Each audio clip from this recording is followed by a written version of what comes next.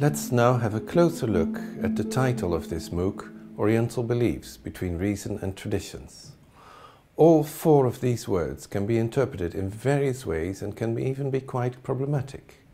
Once you're a bit more familiar with the different interpretations of the words Oriental beliefs between reason and traditions, you can continue informing yourself about the various scholarly disciplines applied in this course.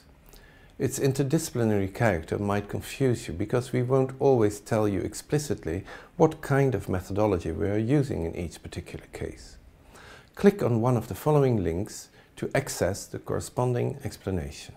The very term Oriental certainly needs some careful scrutiny before we can start using it for the purposes of this course. In a purely geographical sense, our planet Earth is divided into two hemispheres. The Eastern Hemisphere comprises Europe, Asia, Africa, Australia and parts of the islands of Oceania. And the Western Hemisphere includes the Americas and again parts of Oceania. But the words East and West, with their adjectives Eastern or Oriental versus Western, generally refer to entities that are far more abstract and complex.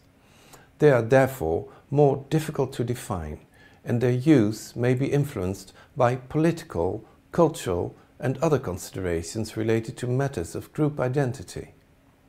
Such considerations are more often than not subjective, even if we don't always realize this. At any rate, it would be almost impossible to come up with an entirely objective and neutral definition of East or West as conceptual units. This is because if you want to define something, it is not sufficient to describe or characterize it, you also have to indicate its boundaries, or in other words, show what belongs to it and what does not. And defining such boundaries is precisely what is so tricky about the concepts East, Eastern, Oriental, West and Western. At this point, please take a few minutes to do the following exercise. Take a map of the world and try to draw a clear line between what could possibly be the East and the West. It sounds simple enough in theory, but how easy is it in practice? Wherever you may have drawn the line, if you have been able to draw on at all, the truth is that this exercise is not so simple at all, and that there is no worldwide agreement on what the East and the West exactly are. The politically loaded term the West in particular often refers to an entity roughly consisting of North America and Western Europe, a unit still used in the United Nations, for instance, more than a quarter of a century after the demise of the Soviet Union and the Warsaw Pact, but it may also refer to Australia and New Zealand. The East, then, would include the countries of Asia, but also North Africa, even though Morocco lies further west than every country in continental Europe except Spain and Portugal. Moreover, until the late 15th century of the Common Era, parts of the Iberian Peninsula were under Arab Muslim domination and the lasting influence of that period can still be felt today in the language and culture of this part of what is called the Latin West. In this course, other parts of medieval Europe will be highlighted as well, because of the significant impact that aspects of Oriental and particularly Arab Muslim culture and scholarship had on it. Part of this culture in its turn had earlier been based on the ancient Greek civilization. The golden age of classical Arabic culture had been enriched by translations of the works of Aristotle and many other philosophers and scientists into Arabic, either directly from Greek or from Syriac translations made earlier from the Greek originals. And indeed, the traditions of ancient Greece have a prominent place in this MOOC. But these traditions existed not only in the area occupied by present-day Greece, but also in large parts of Anatolia, that is, what is now Turkey. And this is yet another example of how problematic the East-West divide really is.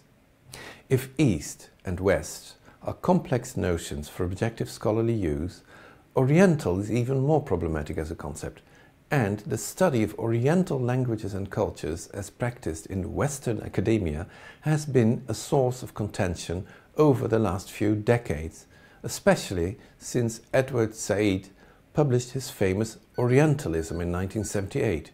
It is quite significant that reactions to Said's polemical essay have continued to appear for a long time, even as late as 2010.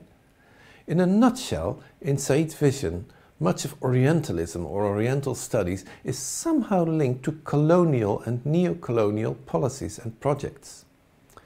As a result of these discussions and polemics on this issue in the 1980s and beyond, many universities no longer have specific departments for Oriental studies and now work with concepts such as Asian studies and Middle Eastern studies. And incidentally, the term Middle East roughly covers the same area as Near East, which just like Far East is an undeniably Eurocentric term when you come to think of it. Near East is mostly used with reference to the more, ancient periods.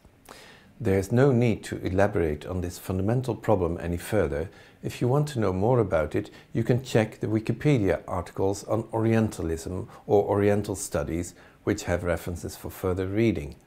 However, it should be clear that where universities still have Oriental studies as an administrative department of teaching and or research, such as the Université Catholique de Louvain, it has absolutely nothing to do with a lack of sensitivity with regard to the problem just alluded to, and even less to do with a neo-colonial attitude towards the languages and cultures under scrutiny.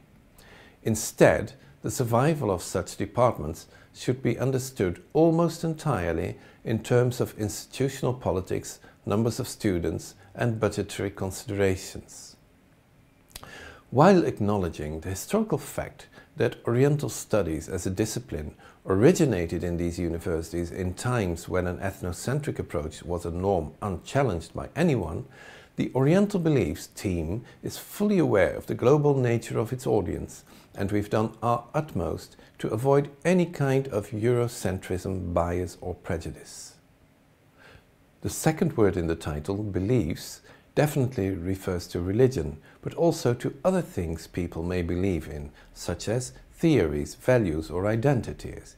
With regard to religious beliefs and practices in particular, it is very important, although perhaps surprising for some of you, to be aware that these are things that can be studied scientifically, just like any other phenomenon that humans can either observe or speculate about.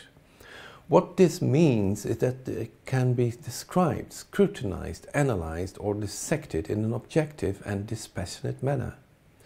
When scholars carry out research on beliefs, religious or otherwise, or when they teach about them according to this principle of objectivity, they will set aside their own religious feelings or ideologies and emotions while applying a rigorous method and taking critical distance from the object of their inquiries.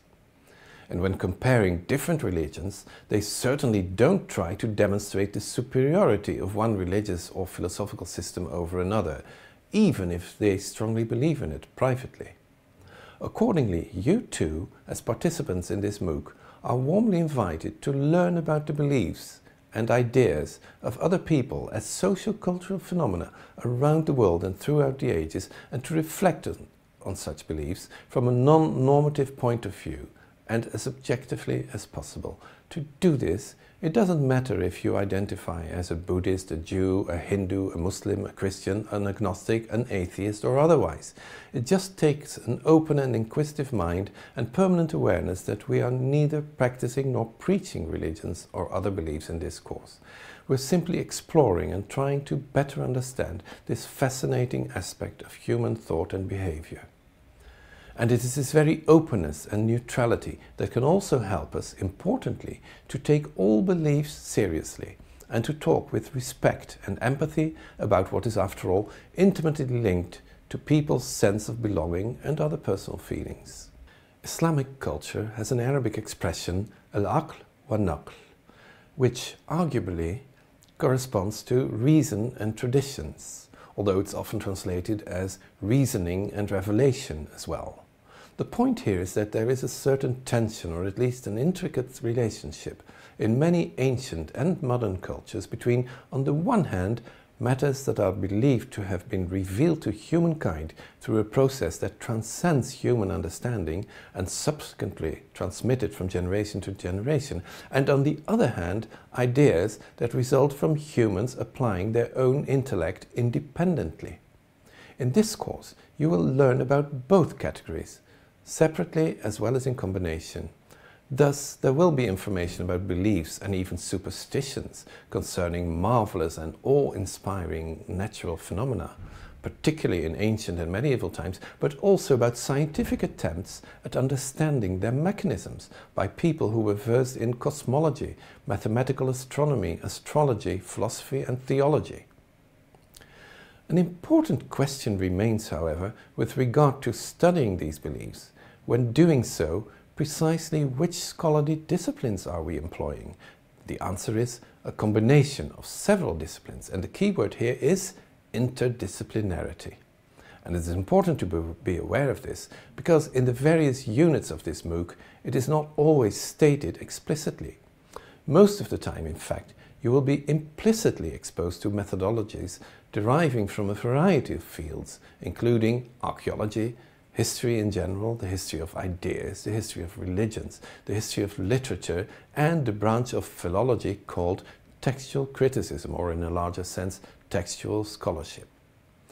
In view of the importance of this last discipline in some of the units of this MOOC, it would be a good idea to have a look at our own explanation written especially for the present purpose, philology, the study of texts and their transmission.